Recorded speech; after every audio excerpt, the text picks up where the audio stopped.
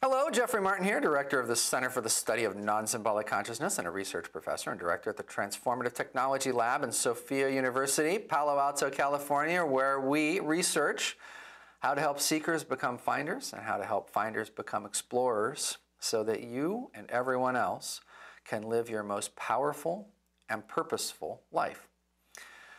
Well, I get asked all the time are some levels of non duality and persistent mystical experience, um, enlightenment, things like that, better than others? Are some of them real or some of them false? Is there one real and true level?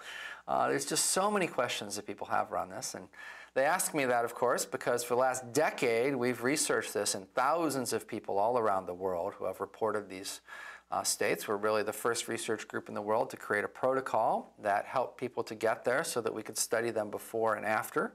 We've done everything from psychological research to neuroscience research to you name it. Uh, so this is a great question, and it really goes right to the heart of the early years of our research, the early part of our research, where we were just trying to get our arms wrapped around this remarkable population.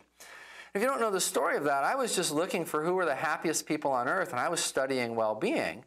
Uh, and I stumbled across this population, and it's become, you know, basically the last 10 years of my life, over 10 years at this point.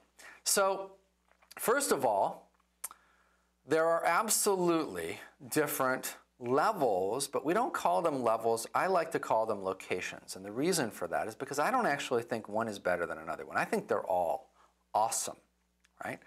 Uh, so the first thing is I'm not going to use the word levels because I don't like to put things into a hierarchy.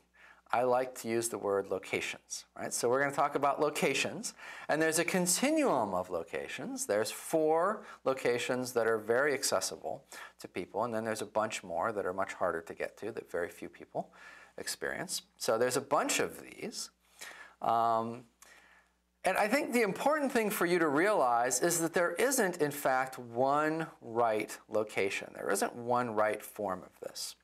So I'm going to refer to this by the psychological term that we use, which is persistent non-symbolic experience, or PNSE. And that really represents uh, a non-religious, secular, psychological, and neurological heart of this experience. So this is the heart of the experience that runs across all of the different types of it worldwide. We spend a lot of time digging into and looking for the very core of this experience and trying to separate out all of the myths and um, really just trying to get down to you know the deepest aspects of it that were common across people around the world regardless of who they were atheist or agnostic spiritual or religious figure whatever okay so first of all there isn't one right place as far as we can tell uh, and there, there are sort of four major locations. You can see me covering those. In other videos, I want to stay focused here on is, the, is are some locations better than other locations? Well, here's how we're thinking about today. Some locations are better than other locations depending upon what you're trying to do in your life. So one of the things that is often the case with spiritual and religious teachers is that they're usually embedded in a system. Maybe it's just their own belief system, or maybe it's an old ancient tradition of some kind. But they're often embedded in a system which says, you've really got to push the pedal to the metal. You've really got to, you know, try to get past location one to location two and all the way to location three, and that's the pinnacle. That's where you stop. You stop at location three. Um, and you don't dare stop, you know, until you're at location three because you got to make it all the way. Um, we think that's not very helpful advice. And the reason for that is because you're out there living lives in the real world. And the reality is that not all locations are appropriate for all lifestyles, right? Let me give you a good example. So I have a friend who's an engineer, a very skilled engineer, and he's experienced locations one through four for a lot of his life. They just kind of came to him naturally.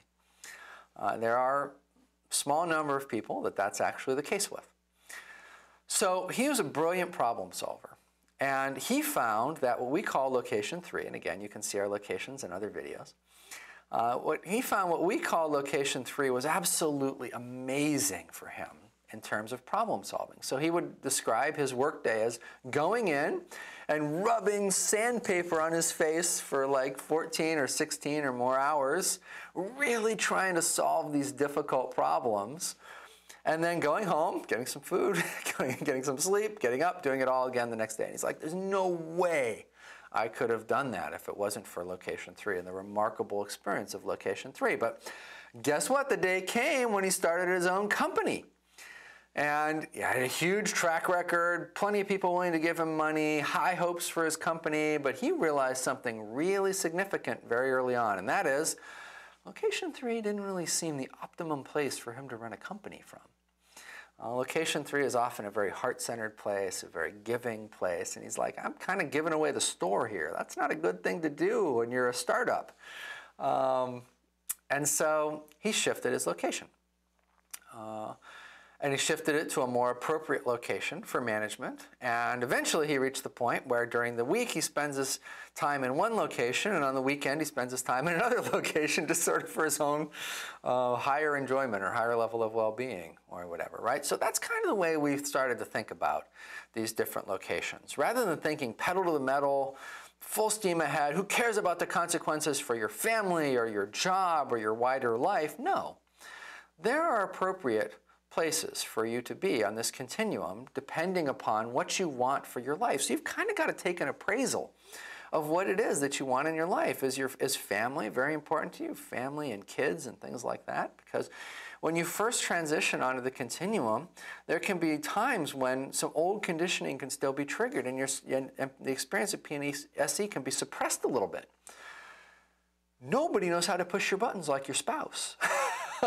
your kids are also pretty good at pushing your buttons. Your parents, they're pretty good at pushing your buttons, right? So there's a couple ways to deal with that. You can either think to yourself, whoop, time for a divorce. Gonna get away from these people. I don't want to have this experience where this is suppressed at all. I want this to be up and I want to be living this amazing experience all the time. Uh, or I'm to stick it out and I'm going to let this conditioning expire, basically, let it wear off over time, and I'm just going to live with it. I'm going to live with these triggers for a period of time, and in our experience, by about the seven-year point, they've even the big ones have mostly burned off. You can accelerate that with different things. Talk about that in different videos and whatnot, different talks I've given, research papers, whatever. Uh, again, not the purpose of this video, but what is the purpose of this video is to say you've got to figure out how you want this to integrate into your life. And although you've got a lot of teachers out there telling you that you should just push the pedal to the metal, and you should just really go for it as far and as fast as you can go.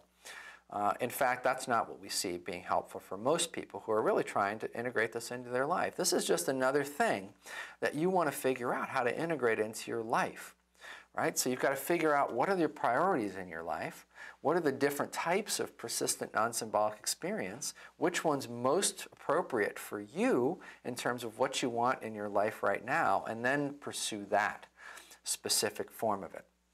All right, so are some levels better than others?